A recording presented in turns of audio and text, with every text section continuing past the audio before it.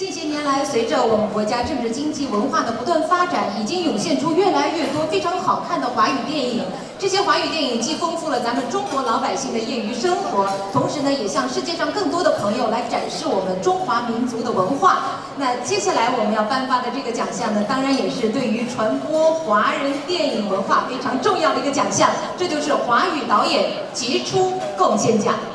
接下来，请出我们的颁奖嘉宾，澳门国际电影节主席许超平先生，好莱坞功夫巨星尚格云顿先生，有请两位。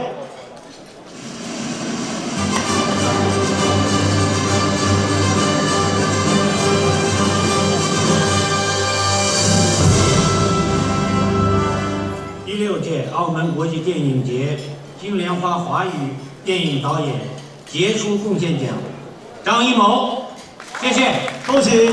有请张导上台领奖。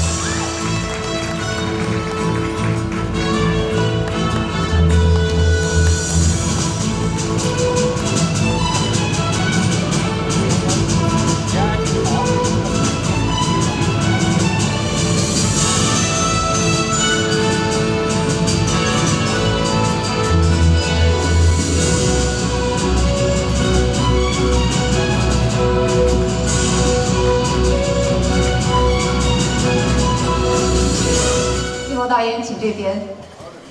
非常高兴，易谋导演今天拿到这个奖项，作为朋友，我觉得很高兴，为您高兴。啊，易谋导演绝对可以说是当代中国影坛具有标志性的人物，国际国内获奖无数。那今天呢，拿到了我们澳门国际电影节为您颁发的这个奖项，心情是不是有些不同？呃，我心情特别激动，主要是，呃，马上到年末了。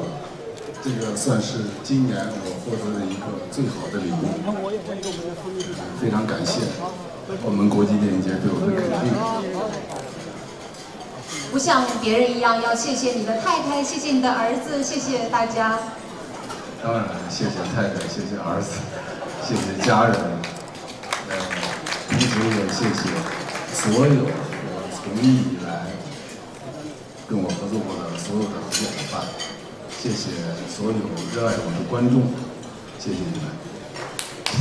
其实我想呢，熟悉一谋导演的人都知道，他就是孔子说的那种敏于行，纳于言的那种人。呃，让他说一个完整的答谢词，真的其实有的时候也挺难为你的。但是呢，我们也知道，其实一谋导演这些年来呢，一直是在这个电影的这个征途上，是不停的往前走。呃，工作日程安排的特别满，包括现在我知道，首先是在筹备一部新的影片，同时呢，这个北京申办冬奥会的这样一个宣传片的重担也落在你的肩头。如果说这个是对我们二零一四年一个圆满的句号的话，我相信它也是一份期待，期待着在新的一年当中，您能够有更好的作品带给我们，好吗？好，再次祝贺一谋导演，也谢谢您，祝贺，谢谢，新年快乐。